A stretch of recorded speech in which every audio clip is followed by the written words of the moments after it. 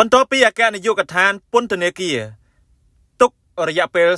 48ម៉ោងឲ្យលោកចាងវាងសានប៊ុនធឿនចេញសុំទោសជាសាធារណៈបន្ទាប់ពីបានធ្វើការអធិប្បាយដោយពាក្យពេចន៍មិនសមរម្យនៅក្នុងន័យប្រមាថមាក់ងាយជារួមយ៉ាងធ្ងន់ធ្ងរដល់ប្រធាន និងមន្ត្រីពន្ធនាគារនោះ នៅពេលនេះលោកចាងវាងសានប៊ុនធឿនបានចេញមុខសុំទោសជាសាធារណៈហើយហាងពេជ្រដាណាត្រី មានលក់ពេជ្រមាសនិងផ្លាទីនគ្រប់ប្រភេទហាងពេជ្រដាណាត្រី ទិញស្រួលលក់ស្រួល អាហារបំពន់សរាយសមុទ្រធម្មជាតិ NNP ជំនួយដល់រាងកាយឲ្យមានធម៌ពល និងសុខភាពរឹងមាំសារាយសមុទ្រធម្មជាតិ NNP បានទាំងសុខភាពល្អបានទាំងរង្វាន់សម្លេងត្បាល់ត្រចៀកកូនក្មេងនិងមនុស្សចាស់ Baby Cherry ជាផលិតផលស្តង់ដានិងមានគុណភាពខ្ពស់កាន់តែពិសេសសម្លេងត្បាល់ត្រចៀក Baby Cherry ក៏មានឆ្នោតកោដើម្បីផ្សងយករង្វាន់ភ្លាមភ្លាមផងដែរដែលរង្វាន់រួមមានដូចជាមាកង្ហានិងលុយសុទ្ធជាច្រើនរង្វាន់អតិថិជន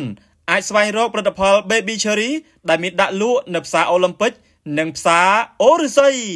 លោកចាងវាងសានបន្ទឿននៅថ្ងៃទី30ខែធ្នូឆ្នាំ2023នេះ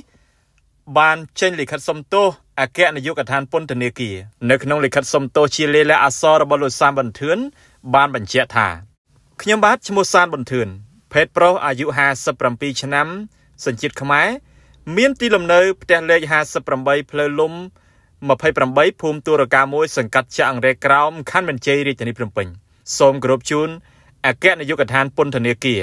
ខ្ញុំបាទបានធ្វើការអធិប្បាយដោយអាការៈស្រវឹងដោយពាក្យពេចន៍មិនសមរម្យក្នុងន័យប្រមាថមាក់ងាយជារួមយ៉ាងធ្ងន់ធ្ងរដល់ប្រធានពន្ធនាគារ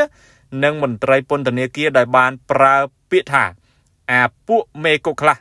ពួកអាឆ្មាំគុកខ្លះគេយកបាយឲ្យប្តីគេស៊ីវាតលតែអ្នកឯងដេកជាមួយអាឆ្មាំគុកក្នុងវីដេអូផ្សាយផ្ទាល់ live តាមបណ្ដាញសង្គម Facebook កាលពីរាត្រីថ្ងៃទី28ខែធ្នូ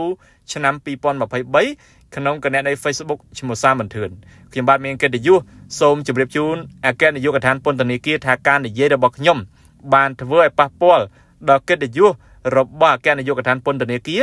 និងមន្ត្រីពន្ធនាគារពិតប្រាកដមែនខ្ញុំបាទសូមចេញលិខិតសុំទោសជាសាធារណៈដោយភ្ជាប់ជាមួយ នៅស្នាមមេដៃអាស្រ័យហេតុនេះខ្ញុំបាទសូមទោសចំពោះកំហុសឆ្គងនេះសូមអគ្គនាយកដ្ឋានពន្ធនាគារទទួលការរាប់អានដោយស្មោះពីខ្ញុំបាទសូមរំលឹកផងដែរថាអគ្គនាយកដ្ឋានពន្ធនាគារនៃក្រសួងមហាផ្ទៃបានចេញសេចក្តីថ្លែងការណ៍ថាក្រោយពីបានឃើញការបង្ហោះវីដេអូផ្សាយផ្ទាល់ live តាមបណ្ដាញសង្គម Facebook កាលពីរាត្រីថ្ងៃប្រហោះ100ខែមករាឆ្នាំថោះបញ្ញស័កពុទ្ធសករាជ2567ត្រូវនឹងថ្ងៃទី28ខែធ្នូឆ្នាំ2023ក្នុងគណនីឈ្មោះសានបន្ទឿនបុគ្គលសានបន្ទឿនអតីតអ្នកសារព័ត៌មានអនឡាញបានធ្វើការអធិប្បាយក្នុងអាការៈស្រវឹងដោយពាក្យពេចន៍មិនសមរម្យនៅក្នុងន័យប្រមាថមាក់ងាយជារួមយ៉ាងធ្ងន់ធ្ងរដល់ប្រធានពន្ធនាគារនិងមន្ត្រីពន្ធនាគារដែលបានប្រើពាក្យថាអាពួកមេគុកខ្លះពួកអាឆ្មាំគុកខ្លះ គេយកបាយឲ្យប្តីគេស៊ីវាតលតែអ្នកឯងដេកជាមួយអាឆ្មាំគុកនៅក្នុងនាមមន្ត្រីពន្ធនាគារគ្រប់រូបទូទាំងប្រទេសរួមទាំងមន្ត្រីដែលបានចូលនិវត្តន៍ហើយក្តីអគ្គនាយកដ្ឋានពន្ធនាគារក្រសួងមហាផ្ទៃចាត់ទុកការធ្វើសកម្មភាពផ្សព្វផ្សាយគ្មានមូលដ្ឋានចោតប្រកាន់មាក់ងាយជាសាធារណៈមកលើមន្ត្រីរាជការរបស់ឈ្មោះសាមន្ទឿនមិនគ្រាន់តែជាទង្វើអសិលធម៌លៀបពណ៌ញុះញង់ឲ្យមហាជនរើសអើងស្អប់ខ្ពើមមកលើមន្ត្រីពន្ធនាគារប៉ុណ្ណោះទេ តែវាជាសកម្មភាពល្មើសច្បាប់យ៉ាងធ្ងន់ធ្ងរដោយមានចែងក្នុងមាត្រា502ក្រមព្រហ្មទណ្ឌនៃព្រះរាជាណាចក្រកម្ពុជា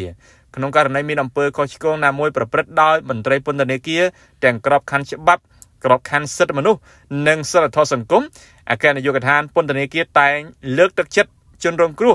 ឲ្យដាក់ពាក្យបណ្ដឹងមកស្ថាប័នតុលាការ ក្រសួងមហាផ្ទៃឬស្ថាប័នមានសមត្ថកិច្ចដទៃទៀតមិនមែនធ្វើការបកស្រាយពាក្យសម្ដីគ្មានសិលធម៌គ្មានការទទួលខុសត្រូវដោយបុគ្គលសានប៊ុនធឿននោះឡើយអគ្គនាយកដ្ឋានពន្ធនាគារសូមធ្វើការថ្កោលទោសនិងតម្រូវឲ្យឈ្មោះសានប៊ុនធឿនចេញមុខធ្វើការសុំទោសជាសាធារណៈជាបន្តក្នុងករណីឈ្មោះសានប៊ុនធឿនមិនបានធ្វើតាមការតម្រូវខាងលើ រយៈពេល48ម៉ោងបន្ទាប់ពីថ្ងៃចេញផ្សាយលិខិតនេះអគ្គនាយកដ្ឋានពន្ធនាគារក្រសួងមហាផ្ទៃនឹងចាត់វិធានការផ្លូវច្បាប់អាស្រ័យដោយបានជម្រាបជូនខាងលើសូមសាធារណជនជ្រាបដោយក្តីគោរពរាប់អានដ៏ស្មោះស្ម័គ្របាទប្រិមិត្តជាទីមេត្រីឥឡូវនេះគឺលោកសាមន្ទឿនបានសុំទោសបើជាសាធារណៈហើយបន្ទាប់ពីចេញនៅការ live ក៏មានការចេញនៅលាយលក្ខអសរលិខិត ជាផ្លូវការផងដែរ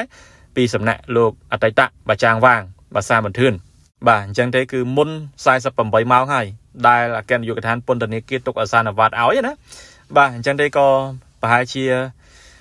ខាងអគ្គនាយកដ្ឋានពន្ធនាគារមិនយកទោសយកពីអីទេពីព្រោះគាត់ចេញសុំទោសជាសាធារណៈហើយណាបងប្អូនណាអរគុណណាប្រិមិត្តជួបគ្នានៅព័ត៌មានក្រោយៗបន្តសូមអរគុណ